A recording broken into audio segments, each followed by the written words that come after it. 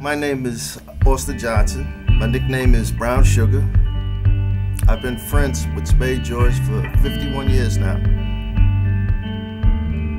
It came to the attention of some of our friends. Me and George were going to meet up for the first time in 30 years. And they thought it was an interesting story, and a movie was put together.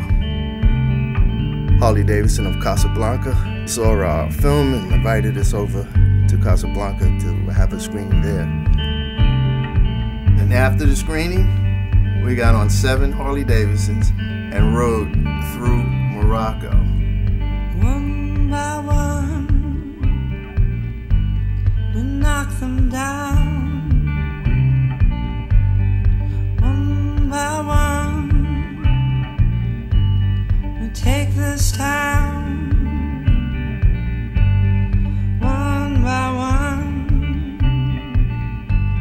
we smoke outside,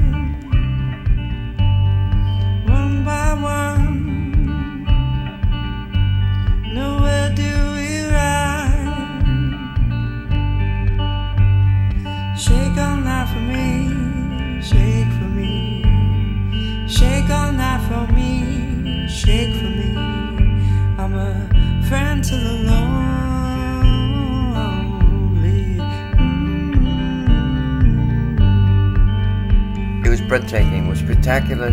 It was it was something that you would you wouldn't even dream about it. And then as it's happening, you're you're saying, "Wow, this is real." As time went by, I just sort of kind of blended in with it. You know what I'm saying? I just kind of kind of got the feel of things.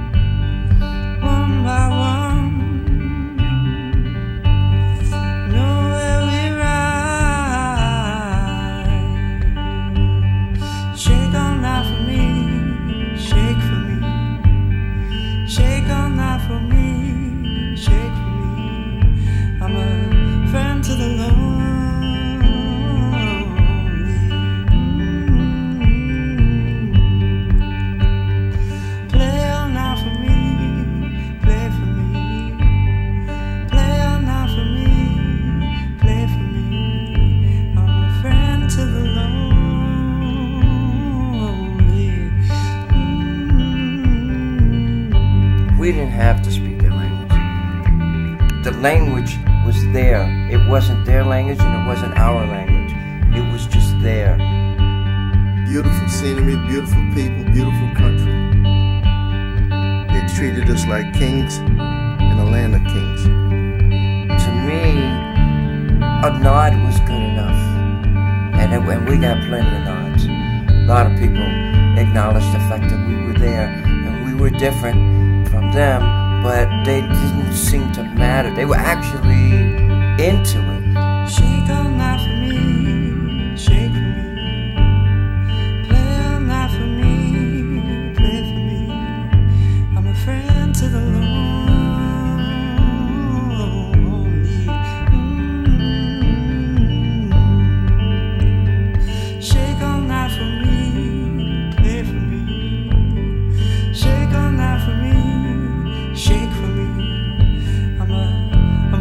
This